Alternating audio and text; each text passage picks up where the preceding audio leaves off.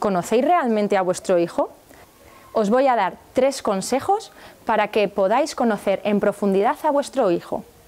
Uno, es importante crear momentos de intimidad. Para poder hablar con él, vosotros deberéis contarle primero vuestras inquietudes, alegrías, penas, para que también él sea capaz de contaros a vosotros lo que les preocupa, lo que les da alegría o lo que quieren ser de mayor. Dos, además de buscar esos momentos de intimidad, es importante escucharles activamente.